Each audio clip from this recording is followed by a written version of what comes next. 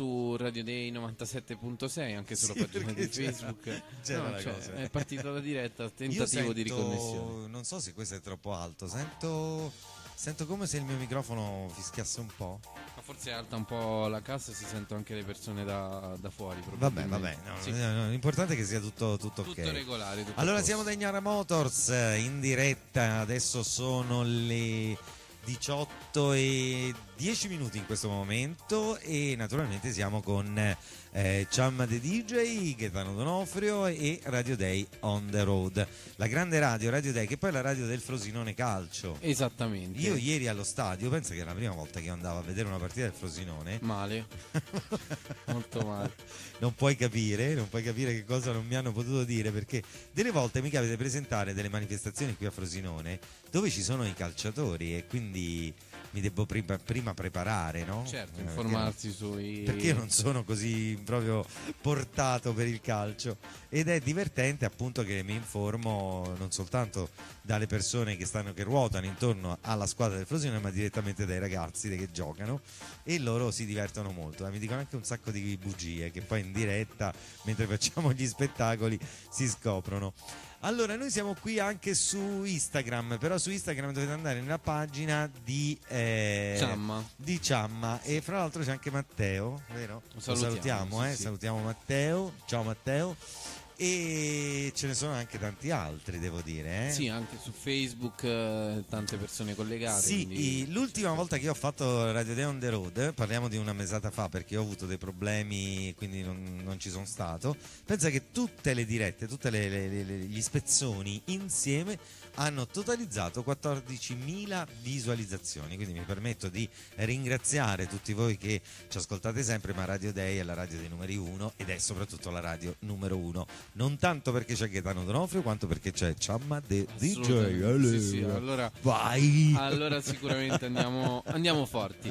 Va bene, a parte, a parte questo, eh, se volete potete mandare un messaggino di testo al 349 50 99 101, anche Whatsapp, eh, così salutate Sì. chi volete, se volete richiedete anche la vostra canzone preferita, il numero l'abbiamo già detto, lo ripetiamo, vai. Anzi, chiedetela voi la canzone preferita, perché quando io gli chiedo un brano, lui non me lo mette mai. Mai? Assolutamente. Proprio devo dire, un- un collega radiofonico molto, Vabbè, molto ma- caro. magari puoi avvisare qualche amico eh, Sì, gli che- dici, che me lo manda, Sì, che- gli dici, guarda, manda questa canzone, richiedi questa canzone così me la fa, me la fa ascoltare. Allora, tu devi sapere che in Italia vengono tanti stranieri e vanno soprattutto a Roma 25 milioni di stranieri nello scorso anno. Pochissimi. Pochissimi, sì, tu sì. immaginati che può Una significare. squadra di calcio. Una appunto. squadra di calcio proprio voglio dire. E Milano, tu sai che Milano loro fanno sempre un po' a gara con Roma, no? Ebbene, Milano lo scorso anno invece ha avuto d- eh, 10 milioni, 10 milioni e rotti di eh, turisti, quindi praticamente Quindi meno, eh, la metà, praticamente, la esattamente la metà.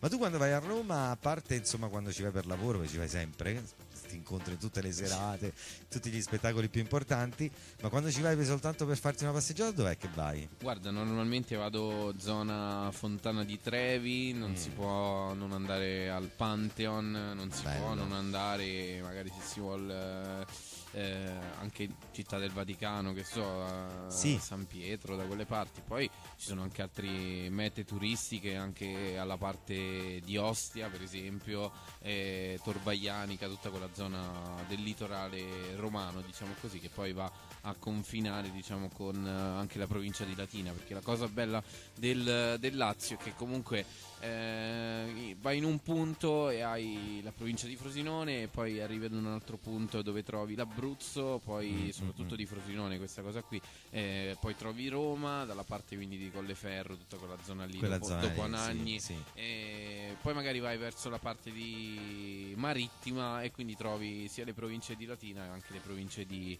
eh, di Roma. E poi per eh, finire la parte del Basso Lazio, chiamano così, dalla parte di Cassino, dove poi dopo Cassino trovi già il- la provincia casertana, quindi Napoli e così, e così via. Quindi è questa la Che posizione geografica Napoli supera, pensa, Milano, eh? 15 milioni di turisti l'anno. Addirittura, quindi... Eh, beh, Napoli poi certo. è bellissima per tanti fattori, eh, è bella per la storia, è bella per i monumenti, ma è bella anche, anche, per, le gite turistiche, le Sì. gite dei, dei giovani. dei giovani, anche per andare a, per esempio Sì. per andare a Capri piuttosto che a Procida, a Ischia, insomma è carina ed è molto bella, poi spacca Napoli, è fighissima. Sei andato in gita quest'anno? Allora, vado al Teatro San Carlo, lo sai? Ah. Il 7 giugno, il giorno del mio compleanno.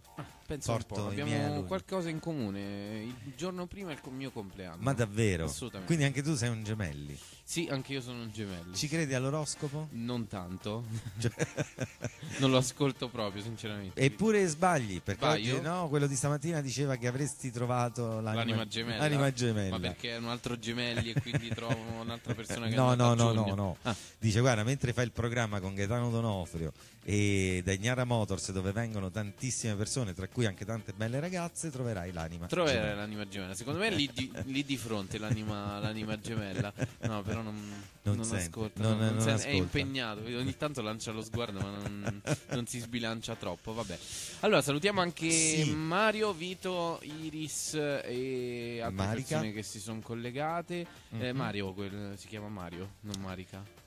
C'è scritto Mario. Guarda, ti posso raccontare l'aneddoto di Sì. questa persona. Sicuramente Allora. ci sta ascoltando. Adesso gli strappo anche un sorriso. Vediamo. Ehm, circa 5 anni fa, quando c'era l'Expo, quanti, Sì. quanti anni fa? e più o meno? dunque 2016 forse? O du- no, 2015 credo. Expo di Milano 2016, se- 2015 15, esattamente. 15. Ehm, nel periodo finale diciamo, dell'Expo eh, andai con un eh, mio amico eh, a Milano all'Expo 2015 per visitarlo. Ehm, al ritorno dovevamo prendere il Frecciarossa eh, alla stazione di, eh, di Milano Centrale e è successa una cosa un po' strana che all'ultimo momento viene cambiato il eh, numero del treno, il numero del binario del treno e appunto perdiamo il Frecciarossa. Un conto è che perdi, non so, un regionale e vai a quello dopo. Dice quello dopo. No, invece Perdi eh, perdi il Frecciarossa Vai, vai il giorno dopo. e trovo questa persona che appunto poi da quella vicenda mi ha seguito e seguo anch'io e che tra l'altro mi ha raccontato che fa anche la radio nelle sue zone, lui è mh,